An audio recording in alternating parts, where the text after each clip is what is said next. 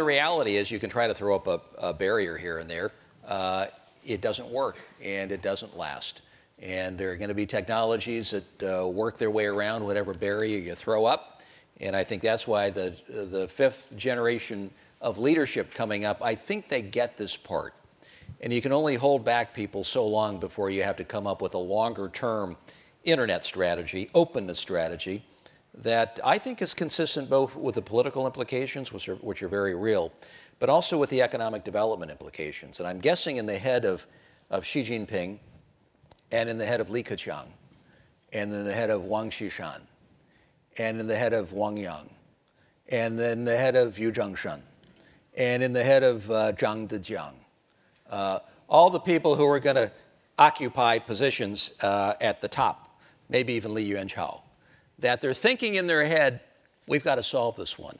And longer term, we have to have a strategy that's, that, that accommodates innovation, getting back to that key pillar on the economic development side. You can't have an innovative society. You can't have the kind of uh, entrepreneurship broad based without access to information and, uh, active uh, use of the internet. You, you, it's simply impossible. I think they're smart enough to know that. So my guess is that, you know, so you have to give the new leadership time. You can imagine next month, you know, 2,000 delegates are going to descend on Beijing. And uh, they're going to appoint the 200 members of the Central Committee and about 150 uh, alternates. And then they're going to go into plenary session and they're going to appoint the 25 members of the Politburo.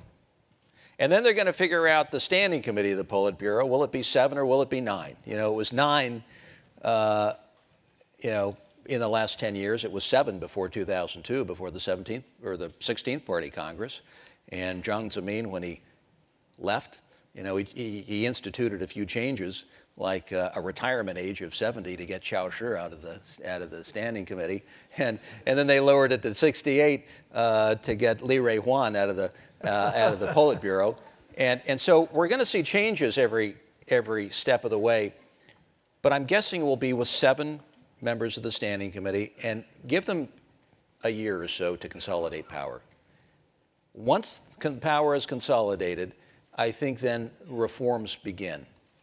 And top among them, I do believe, is going to be dealing with the internet in society. It's a big one with political and economic implications, but it can't be avoided forever.